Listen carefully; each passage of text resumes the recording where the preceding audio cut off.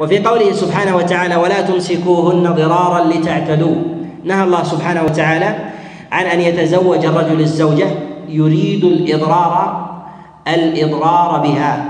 والإضرار على ما تقدم يرجعها ونفسه لا تريدها أو يبيت عدم النفقة عليها أو الإساءة إليها فيريد إرجاعها لتجويعها أو تعريتها أو ضربها أو سبها أو شتمها.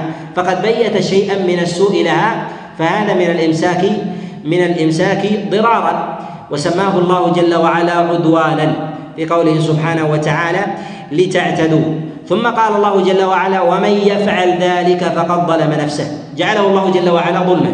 ولكن في هذه الآية معنى لطيف في قوله سبحانه وتعالى ظلم نفسه. مع أنه ظلم غيره. الظلم يتعدى إلى الغير ولكن جعله الله جل وعلا لنفس لنفس الإنسان. والسبب في ذلك أنه يجب على الظالم أن يستحضر أن يستحضر أثر ظلمه على نفسه قبل أن يستحضر ظلمه على على غيره. فإنه ربما يتلذذ الإنسان بتعديه على غيره تشفيا ولا يردعه من ذلك ربما يزيده في ذلك إذا علم أن من اعتدى عليه يتأذى بذلك.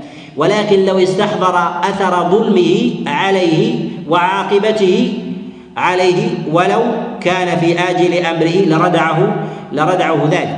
ثم أيضا في هذه المعاني أن الله جل وعلا ذكر ظلم الإنسان لنفسه إشارة إلى أن زوجه ولو سرحها فهي من نفسه فهي من نفسه ولها حق ولها حق عليه ولو بانت ولو بانت منه. ومن المعاني أيضا في ذلك فقد ظلم نفسه أن الله أن الإنسان إذا ظلم غيره فقد تحقق فيه الظلمان.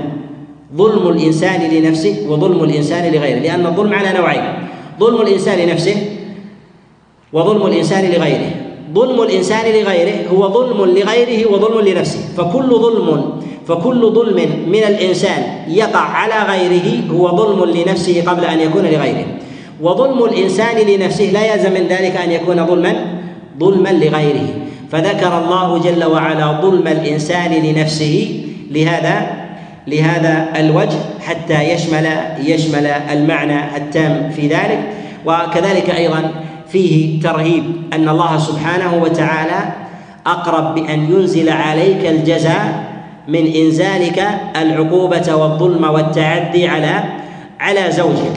ولهذا إن الله سبحانه وتعالى ذكر عبده بأن الله جل وعلا سينزل عليه عقوبة فعليه أن يتذكر أثرها عليه قبل أن يتذكر أثر ظلمه وعدوانه على على زوجه. وهذا من الله سبحانه وتعالى تذكير وعدل وإنصاف.